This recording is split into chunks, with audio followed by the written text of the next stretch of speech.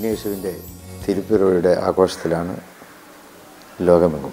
ഈ ആഘോഷങ്ങളിൽ പരസ്പരം ചേർന്നിരിക്കാനും ആശംസകൾ കൈമാറാനും നമ്മൾ തയ്യാറാകുമ്പോൾ അത് ബോസ്വര സമൂഹത്തിൽ മതേതരത്വത്തെ ശക്തിപ്പെടുത്തുകയാണ്. മുമ്പെല്ലാം കൂടിയിരിക്കാനുള്ള ഒരുപാട് സാഹചര്യങ്ങളും ഇടങ്ങളും ഉണ്ടായിരുന്നു.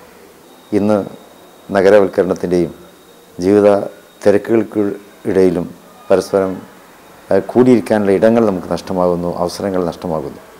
അവിടെയാണ് നമ്മുടെ ആ ഒരു സ്നേഹവും സാഹോദര്യവും സൗഹാർദ്ദവും പങ്കുവെച്ചുകൊണ്ടുള്ള ഒരു നല്ല ദിവസമായി ഈ ക്രിസ്മസിനെ പ്രയോജനപ്പെടുത്താൻ എല്ലാവരും തയ്യാറാകണം. ഏഷ്യാനെറ്റ് ന്യൂസിന്റെ മുഴുവൻ പ്രേക്ഷകർക്കും എന്റെ ഹൃദ്യമായ ക്രിസ്മസ് ആശംസകൾ നേരുന്നു.